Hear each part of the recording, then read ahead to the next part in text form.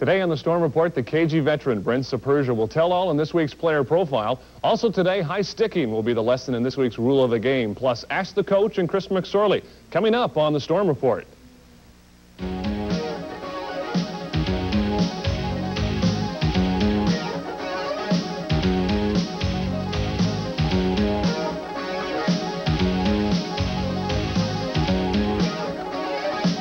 The Storm Report, sponsored by Team Chiropractic, official chiropractor of the Toledo Storm. Ranch Steak and Seafood. You'll never go hungry at Ranch. Shortway Travel, official transportation of the Storm. And Arnie's at Westgate, Toledo's only sports theater.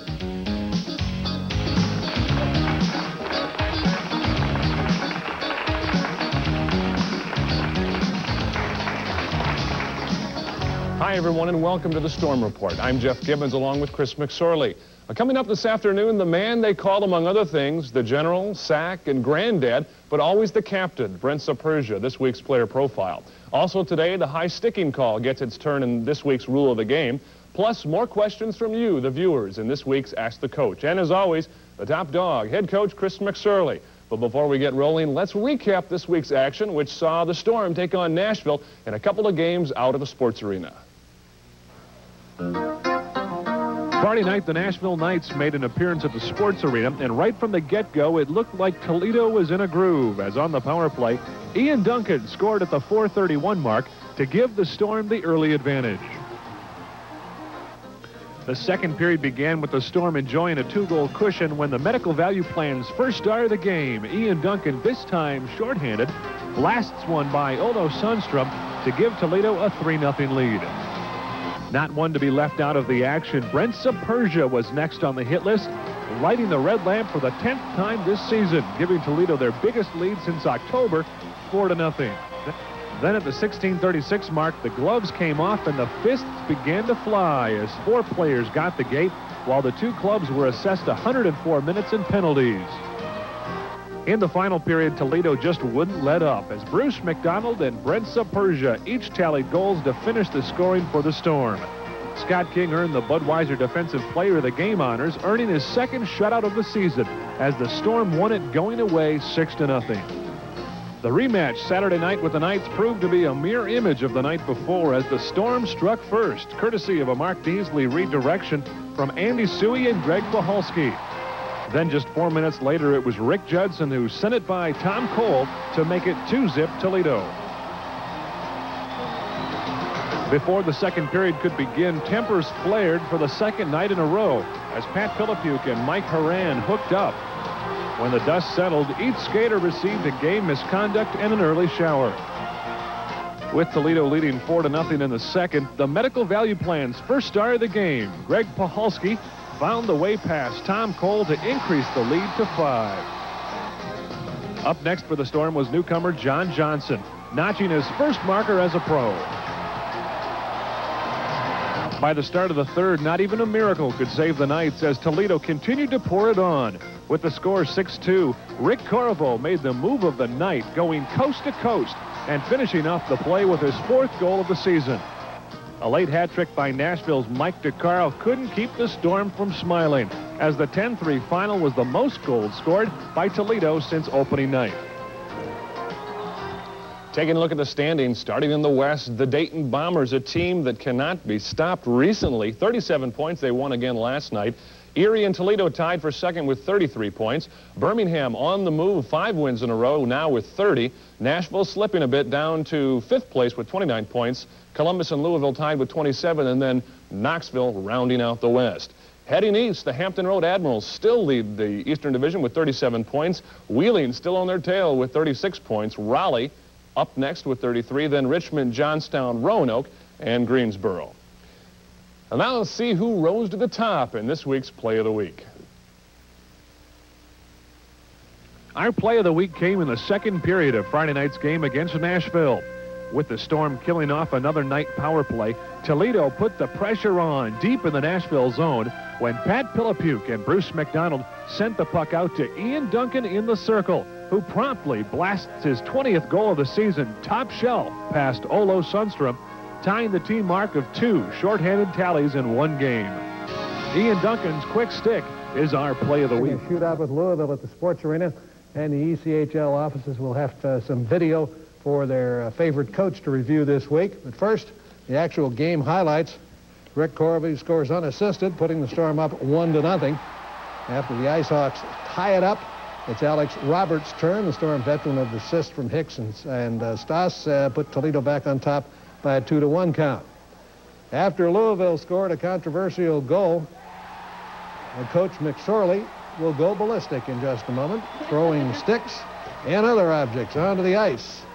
Where are you, Chris? There you go. Yeah, get him out there. Get this one on the ice. He starts to disrobe. He's going to take his clothes off there, folks. Look out. Start the music.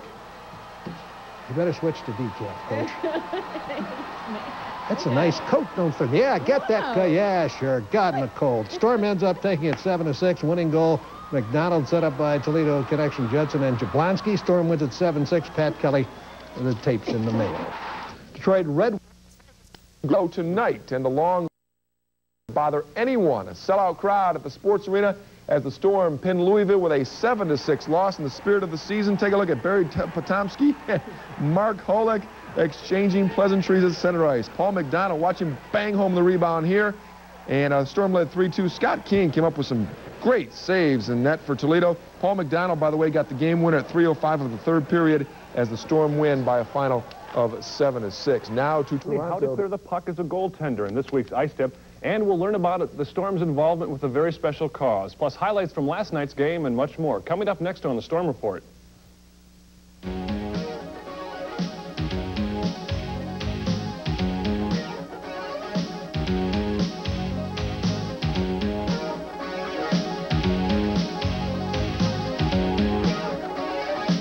The Storm Report, sponsored by Team Chiropractic, official chiropractor of the Toledo Storm. Ranch Steak and Seafood. You'll never go hungry at Ranch. Shortway Travel, official transportation of the Storm. And Arnie's at Westgate, Toledo's only sports theater.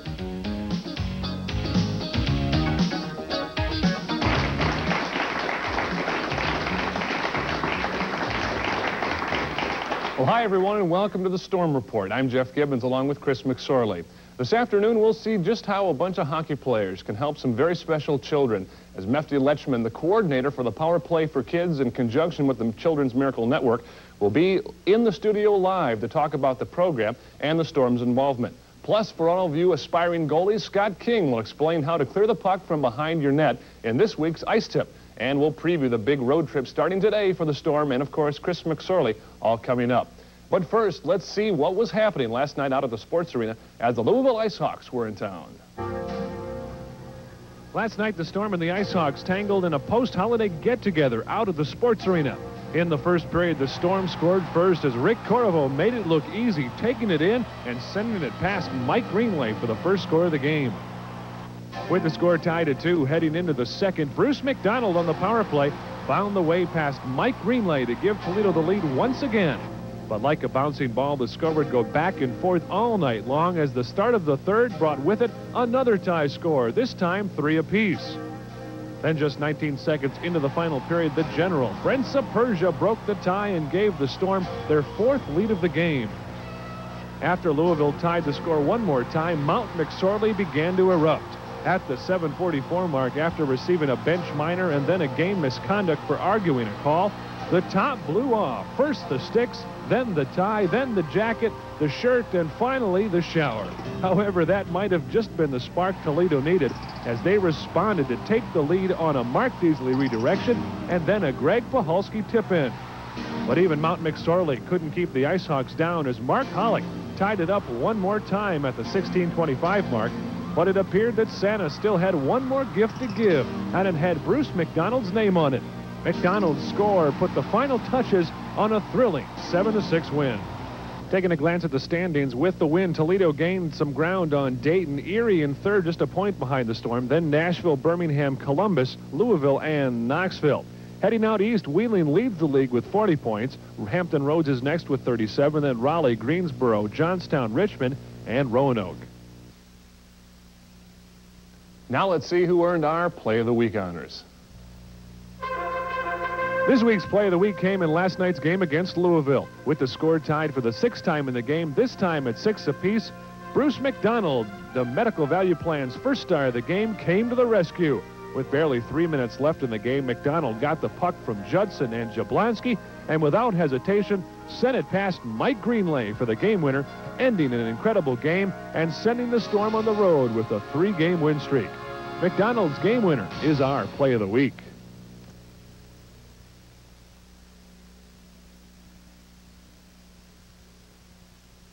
Coming up today on the Storm Report in a special feature, we'll find out what life's like on the road with the Toledo Storm. Also today, player assistant coach Greg Puhalski will be our special guest, and Bruce McDonald will be live in the studio, all coming up next on the Storm Report.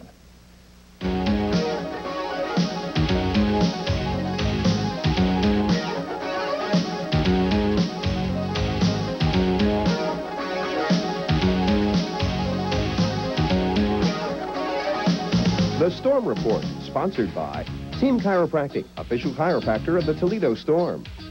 Ranch Steak and Seafood, you'll never go hungry at Ranch. Shortway Travel, official transportation of the Storm.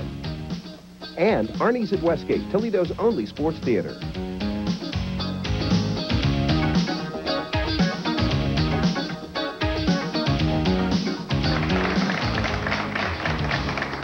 Happy New Year, everyone, and welcome to the Storm Report. I'm Jeff Gibbons, along with special guest Greg Puhalski. Well, this afternoon, we'll take you on the road and behind the scenes with the Toledo Storm, an attempt to give you a better idea of what it's really like on the long and winding road. Also today, Bruce McDonald will be live in the studio to talk about Toledo's recent turnaround in the standings and also about Bruce's play. And it was one of the most successful road trips this season for the Storm. We'll show you some of the highlights, as well as the guy to my right, Greg Puhalski. But first, let's bring everyone up to date on what happened on last week's Southern Road Swing, which saw Toledo take six out of a possible eight points. The trip began last Sunday in Louisville, and when the final whistle blew, the Storm gained a point but fell in overtime 5 to 4. Rick Corriveau, Mark Hicks, Jeff Jablonski, and Brent Sapergia all lit the lamp for Toledo, while Kelly Enns got the game winner for the Ice Hawks just two minutes into the overtime session. The following night, the Storm traveled to Birmingham to take on the Bulls, and Monday night would prove to be all Toledo as the Storm skated out with a 4-1 win. John Johnson had a couple of goals to lead the way for the Storm, and goaltender Scott King was outstanding in the nets, stopping 28 of 29 Birmingham shots.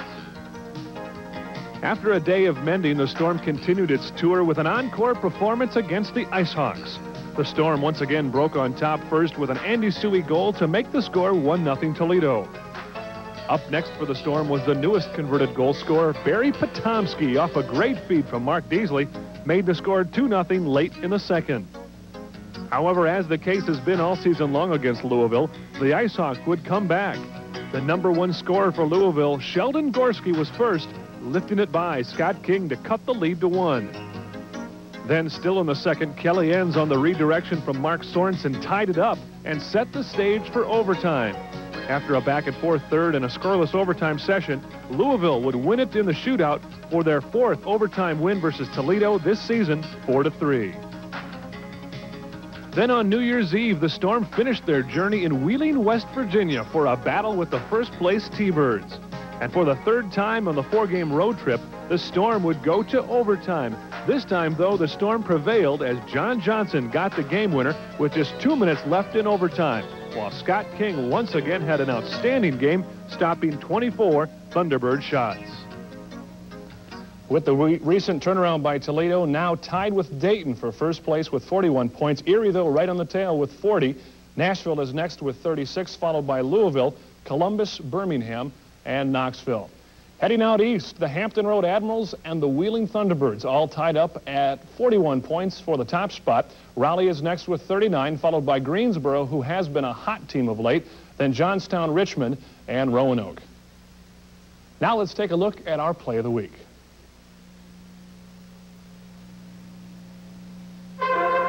This week's play of the week came in Wednesday's game against Louisville. With the Storm short staff due to injuries, defenseman Andy Suhy was forced to move from defense to forward. And with the pressure on, Suhy delivered. With the game still scoreless late in the first period, Suhy positioned himself in front of the net to play the rebound and cashed it in, sending it by Kevin Koopman to start the Storm outright. Suhy's hard work and great shot is our play of the week. Still to come, we'll take a peek at a day on the road with the storm.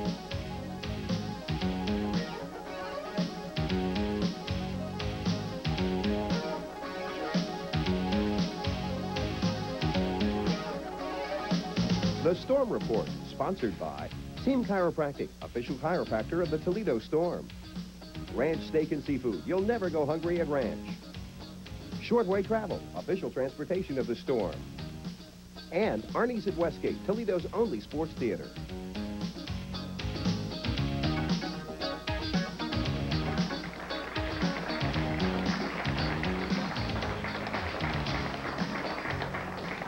Hi, everyone, and welcome to the Storm Report. I'm Jeff Gibbons along with Chris McSorley. Tonight on the show, a familiar face from last season, Dan Wiebe, who made his return to Toledo this week, will bring everyone up to snuff on the techniques behind a two-on-one breakout. And this week's Ice Tip, also on the ticket tonight, rookie forward Alex Hicks will be the main man in this week's player profile, as well as Ask the Coach and the man they call Mac, head coach Chris McSorley. But before all that, let's relive an exciting week of hockey, which saw the Storm get rolling last Sunday in Erie.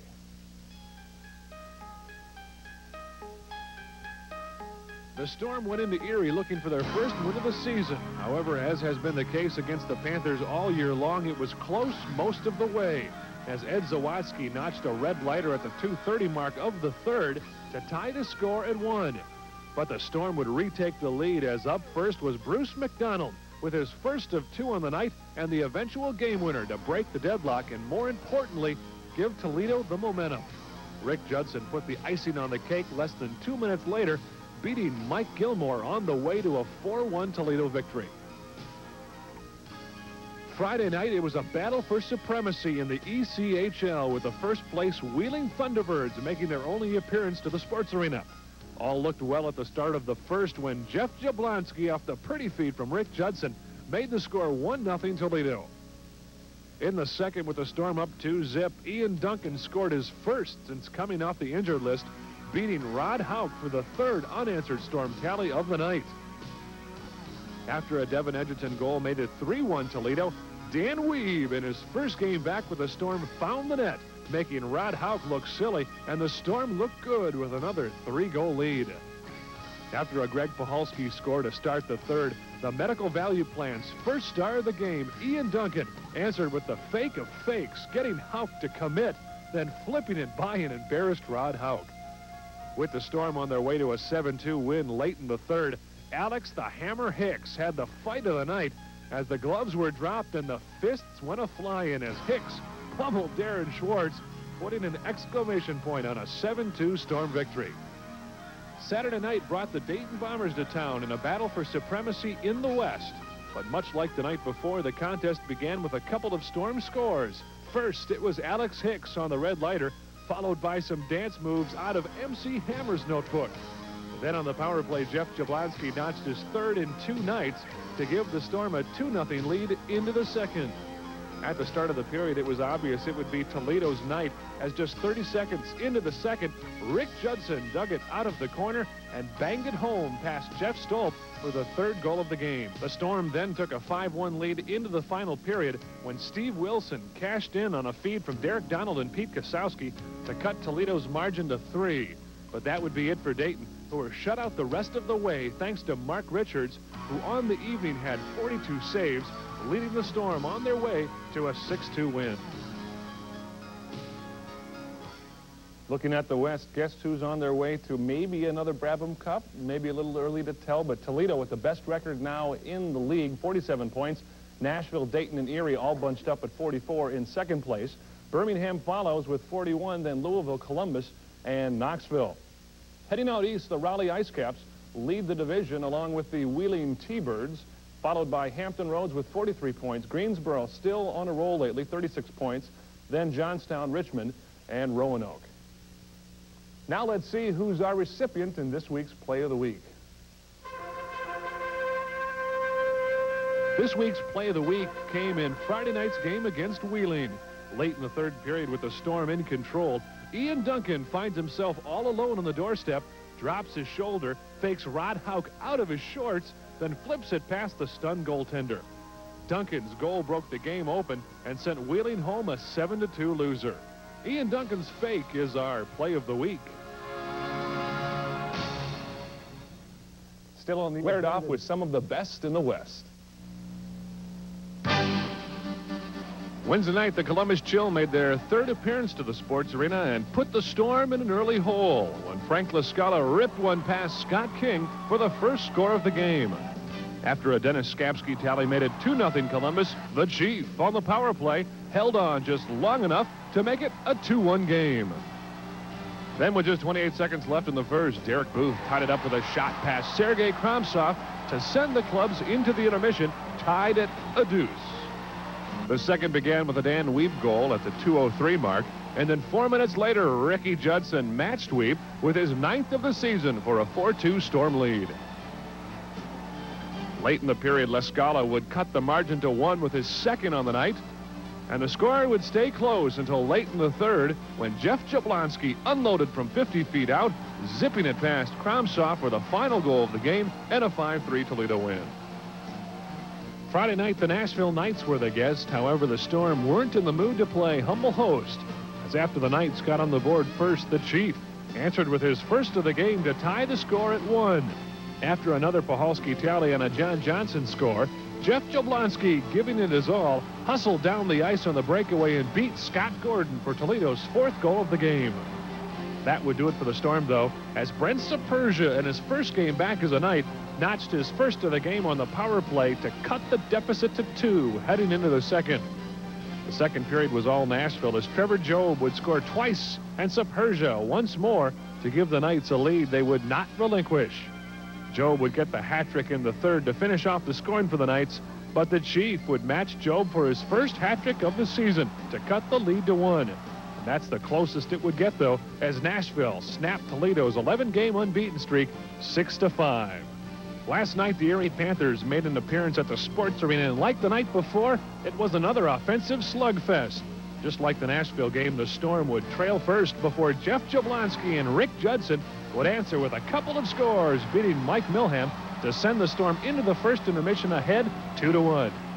The second would start like a bad dream with the Panthers pouncing for two, one by Freddie Jacks and the other by Glenn Goodall to tie it up at three. About that time, though, the Storm got their wake-up call, striking for three straight goals as Ian Duncan, the Chief, and Rick Judson all at the lamp to give the Storm a comfortable 6-3 lead. After an Ed Zawatsky goal late in the second, the final period would begin with Greg Puhalski's second and Rick Judson's third. For Judson, his first professional hat trick, and for the Storm, an 8-4 advantage. Erie would make it close with a couple of John Barry tallies late in the third, but Toledo would hold on for an 8-6 victory.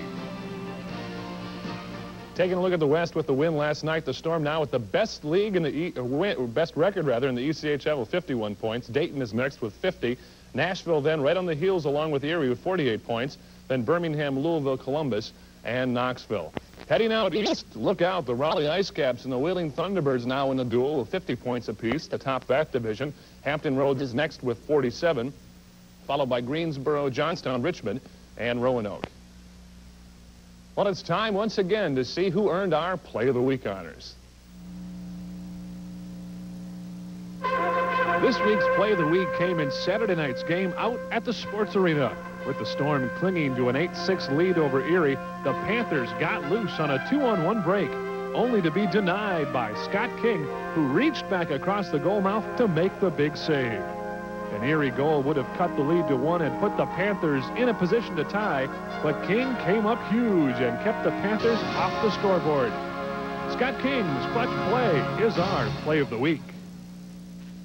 Ham. Tuesday, the Storm traveled south to Birmingham to take on the improving Bulls. In the first start since rejoining the club from Fort Wayne, Mark Richards went down early in the first period with a pulled groin muscle. However, Scott King came in and didn't miss a beat, making 34 saves on the night. Ian Duncan would get the first tally of the game for the Storm, fooling Chucky Hughes on the misdirection. And from that point on, the Storm wouldn't look back as Judson, Wiebe, and Corriveau would all chip in as the Storm finished the night with a 4-2 win.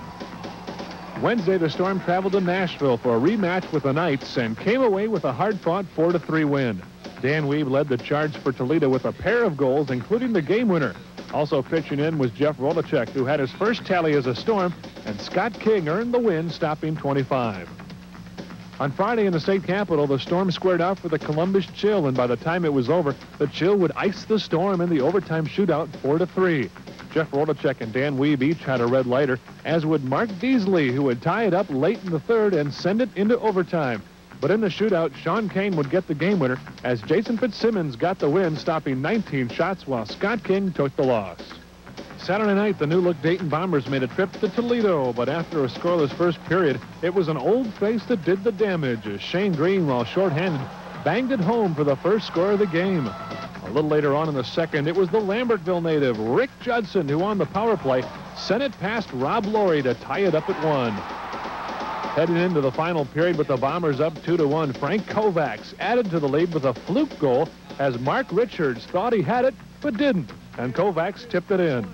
With seven minutes left in the game, the Storm began to play the way they know how as Rick Corriveau at the 13-16 mark would slice the margin to one. And then Judson, again hardly a minute later, on a nice move, tied it up and sent the game into overtime. But like the night before, it would go to the shootout, and this time it was Dave Smith with the game winner as nine shootouts later, the jinx continues. Taking a look at the standings, despite the jinx, the Storm will lead the league with 57 points and the West. Dayton is next with 54 in second place. Nashville with 52, then Erie in fourth. Birmingham and Louisville on a roll lately, 47 and 45. Then Columbus and Knoxville. Heading out east, the Wheeling T-Birds lead the East with 54 points in the year, but the Raleigh Ice Caps right on their heels with 52. Hampton Roads, who visits the Sports Arena tonight, in third with 49. Then Greensboro, Johnstown, Richmond, and Roanoke. Now let's take a look at this week's Play of the Week. This week's Play of the Week came in last night's game against Dayton, with the Storm trailing 3 to 2 late in the third period. The man from Lambertville, Rick Judson, had the touch, splitting the defense, going in alone, finds a way past Rob Laurie for his second score of the game when sent it into overtime. Rick Judson's never quit attitude and clutch goal is our play of the week. Still to come. Sunday was the fifth game in six days for the Storm as the defending Riley Cup champion Hampton Roads Admirals were in town. And early on in the first period, Randy Pierce would score first on a disputed goal that didn't appear to cross the line. However, the goal would stand and the Storm would trail. The first period also brought with it several fights, including Dan Wiebe and Kurt Kabat, who both would get the gate with a game misconduct. In the second, Hampton Roads extended their lead to 3 to nothing on a couple of Victor Gervais tallies before John Johnson would break the goose egg for Toledo with his sixth of the season. The final period would start with the Storm trailing 4 to 1 when at the halfway point, Ian Duncan on a blast from the point cut the lead to 2. But that's the closest the Storm would get as Paul Carpella would score once, as would Derek Booth, to make the final 5-3 Hampton Roads. Wednesday night in Nashville, the Knights faced a banged-up Storm squad and came from behind for an 8-5 win. Despite coming into the game with nine skaters and one goaltender, the Storm would lead 5-3 late in the second before succumbing to Nashville and Trevor Job, who finished the night with a hat trick and four assists. Five different Toledo skaters would light the lamp as Mark Richards took the loss, making 39 saves, while Scott Gordon would get the win, stopping 35. Friday night began a double dip in Knoxville, and behind a 38-save performance from Mark Richards, Toledo would shut down the Cherokees 4-zip. The Storm jumped out to a four-goal lead in the first period on a pair of goals from newcomer Larry Olam and one apiece from Jeff Rodacek and Dan Wiebe. For Richards, it was his first professional shutout, while for the Cherokees' Mike Williams, it marked an unhappy return against his former club. On Saturday, it was almost a repeat performance as the Storm would sweep the weekend series with a 5-1 win. Mark Richards once again had an outstanding game, shutting out Knoxville through 56 minutes of the contest before allowing the first Cherokee goal of the weekend. For Toledo, Jeff Rodacek was the offensive star, notching a pair of goals to go along with two assists. Jeff Jablonski, Bruce McDonald, and Derek Booth would also tally a marker for the Storm. With the two wins this weekend, the Storm keep pace with the Dayton Bombers and lead the ECHL with 61 points. Dayton right behind Toledo with 59, followed by Nashville with 58. Erie, Birmingham, Louisville, Columbus, and Knoxville then round out the West. Over in the East, the Wheeling Thunderbirds in position to lead the conference at the All-Star break with 58 points on the year. Raleigh is right behind with 57. Hampton Roads with 51, followed by Greensboro, Johnstown, Richmond, and Roanoke. And now let's see which play stood above the rest in this week's Play of the Week.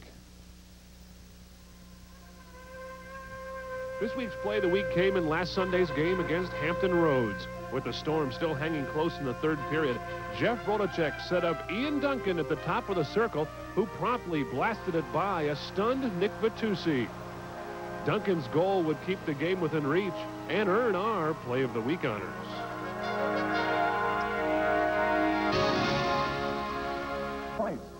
We've gone back into the Storm Report archives to bring you some of this season's greatest hits.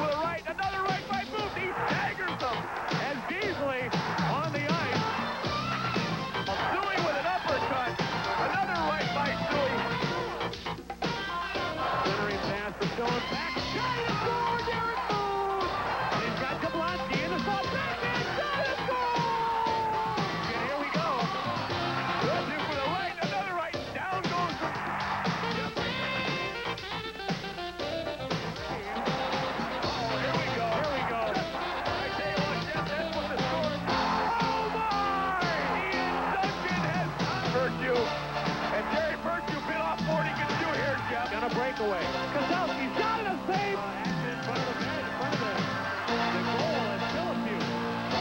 In Kovac, Jeff, and Andy with a shoveling right hand. Crawford Beasley with a right and another right. And Crawford outmasted this one as Beasley just away. An arm free. With a right, another right, sends to the ice. Here comes Taylor on a breakaway. Taylor backhand shot and a save. Up top for Dunk. Dunk with a drive. Goal!